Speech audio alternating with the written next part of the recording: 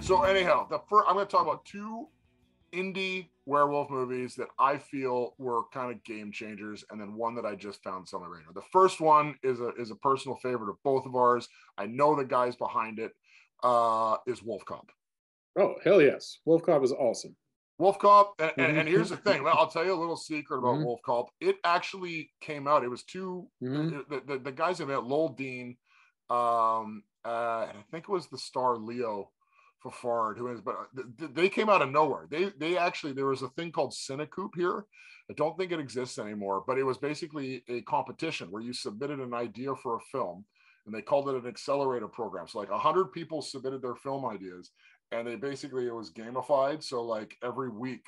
10 people would drop off until they picked the top ones. And Wolf Cop won that competition. Yeah, And so they were nobody filmmakers from the middle of nowhere. I think it was Saskatchewan, um, like the middle of nowhere, Canada. They Mhm. submitted into this program and they got one. And if I remember correctly, the budget was exactly a million dollars, give or take. But I think it was like basically it was a few hundred thousand dollars in tax credits and a bunch of stuff that they did was able to make this movie. So it is a low budget indie for sure and um and it came out of a competition so don't think like it's one of those ones that these guys did nothing before they were just a couple of guys who ran around trying to make a movie entered a competition and it came and out came wolf cop and wolf cop also spawned wolf cop 2 yep. uh, called another wolf cop. Uh, and I and I don't know why there's not a third. The guy, the guys behind it, who I've I've I know these guys. I actually helped out a bit, uh, well, with a project for another Wolf Cop for the second one. But Wolf Cop is essentially like it's a comedy. Did you supply the liquor and donuts for the second one? I actually supplied liquor for the second one. It's actually true. It's it's it's it's actually beer. We uh we, we made it. We actually made a Wolf Cop lager beer. And if you watch another Wolf Cop, he Mhm. drinks a beer called Dale Ale the entire time. That was our that was our beer. we Yeah, and there's the- isn't there a beer called Dale's Pale Ale or something like Well, that? there is Dale's they make it in Pale the Ale. states. Yeah, yeah. and we got in trouble so we called Oh, it that's yeah. that's why we changed it to actually calling it wolf cop lager so we actually we made the beer and it's called wolf cop lager and it was dale's wolf cop lager and it was in the movie if you watch it he drinks Yeah. dale dale's wolf cop lager the entire time See, I'm I know that because I'm very uh my brand awareness is there very key with Yeah. with all lots of different types of beers because I've sampled many different Yeah. types and well, variety of brands of beers. I know a guy who owns a, a, a brewery, and Mhm. we've actually made Wolf Cop Lager Mhm. and put it in cans and, and put it out. Uh, and uh, ta- I talked with the guys Mm-hmm. Uh, who made the movie, and we got it in the movie. It was pretty funny. So yes, that was my small part uh, in another Wolf Cop. Um, but uh, talking about the movie itself, if you haven't Mhm. seen it, I think it's a must-see indie werewolf movie. Oh, absolutely. Yeah, just for the fact alone that uh, liquor and donuts fuels his werewolf powers, akin to uh, spinach fueling Popeye's strength, is is makes it worth watching. Just just that alone. Well, essentially, and if you the script itself, it's like it's a Mm-hmm. comedy in the vein of like I know the guys behind it, they're big like Strange Brew fans and stuff. so Yes, inject- it has a lot of strange brew, strange brew and RoboCop elements. it. yeah, yeah. They, they they put the strange brew. The, the full the first Wolf Cop is very RoboCop. It's essentially Mhm. the script for RoboCop. Take out uh the RoboCop and put in a werewolf and Yep. then make and make it funny. And part uh, two is strange brew, basically. And, and Yeah. part, part Mhm. two is Strange Brew. Um, and it's very and it's funny, but I mean, the thing about taking a comedic view on the film, it, it allows the actual werewolf to look kind of goofy. Like he he's Mhm. definitely a goofy looking werewolf, but that totally works in this movie. And it's gory. It's got its gory Mhm. parts. It's got its violence, but it's essentially RoboCop with a werewolf. Uh, that's a comedic film, and it's and it's a fantastic indie werewolf movie that I thought was like put werewolves back on the map a little bit because it was like, oh shit, werewolves.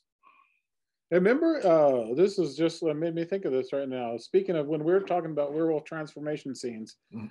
uh, an episode or two back, Yeah. and I was thinking about the werewolf transformation scene in Wolf Cop, about like how he's in the bathroom taking a piss, and all of a sudden he starts turning into werewolf. And you know, like when the Hulk like rips through his shirt and everything, Yeah. well, the well the werewolf parts start coming through his regular parts and like rips his his cock apart and everything. like, Yes, and I was like, I was like, that's a very creative uh, werewolf uh, transformation scene.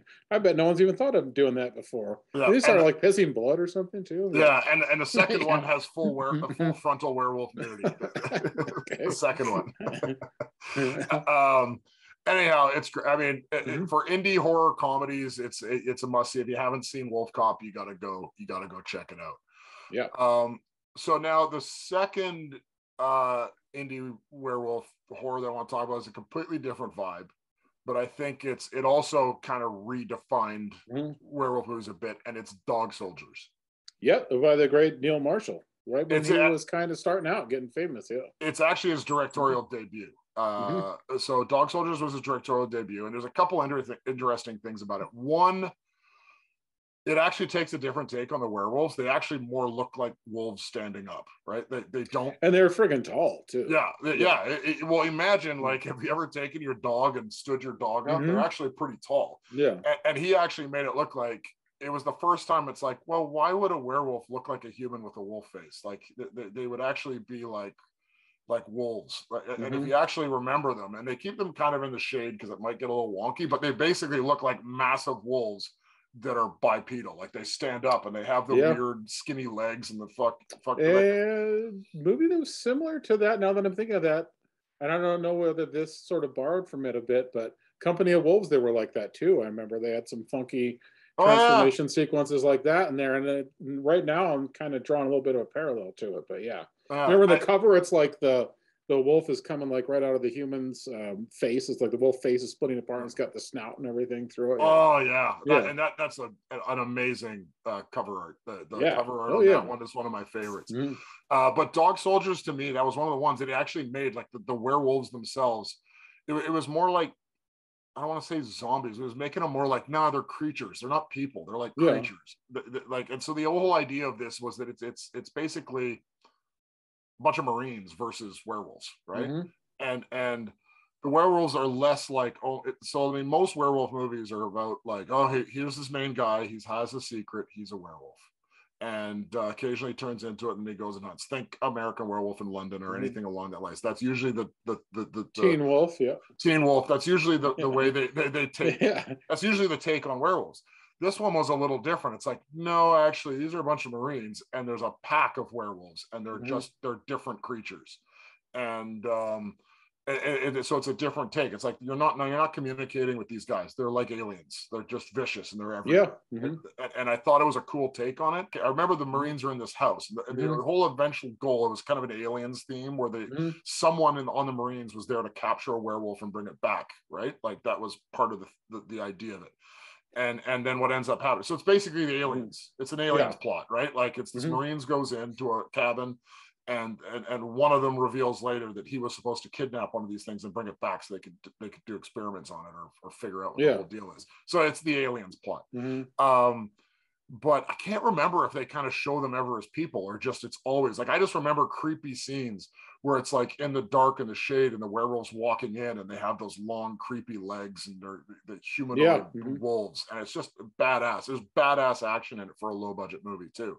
It really was. To be honest, that was actually what it was. It's basically aliens but with werewolves. Yeah. So Wolf Cop was RoboCop with a werewolf. This was aliens with werewolves. Yeah. well, Um, mm, yeah, lower budget than Aliens. Even though Aliens, when you see the making of it, was actually lower budget than I thought it would be. When they they had to Well, they James have Cameron had to pull some serious strings to get uh, done what he Yeah, and they had puppets. movie. It was like yeah, it's always Yeah. weird when you see that skinny dude Mhm. wearing the alien outfit. You're like, fuck, they put a dude in a costume to play the alien. Yeah. I do like the long, like gangly kind of look of the aliens and making them more, or the, or the werewolves making them more creature like that movie. Yeah, Yeah, yeah, I think that's yeah, that's a good take. It's a Mhm. good take on it. And Mhm. what's interesting on the backstory of it, it, it is Neil Marshall's directorial debut, and Neil Marshall is awesome. We all know that now. Uh, but he had written this about six, seven years before, and he said it took him six years to raise the money and figure out how to actually get it made. So it's a Yeah. really cool for indie for indie filmmakers out there. Like think about where Neil Marshall is now. Mhm. He said he sat there for six years with this script ready to go, having to raise the money to get it done. I think they did it for, I think it's going to be two to three million dollars was probably the range Mhm. it was in. It did all its money on video afterwards, right? Oh, Because it had a yeah. limited limited release, but it was one of those ones that went sort of viral afterwards because everyone was like, "How awesome is this movie?" But I mean, great story in that literally it took him six years to get this made, got it made, it was a hit, and all of a sudden that launched his whole career. And then it didn't take him nearly as long. But it's an awesome movie. If you haven't seen Dog Soldiers, Got to see Dog Soldiers. Yeah, that's definitely a good werewolf pick right there.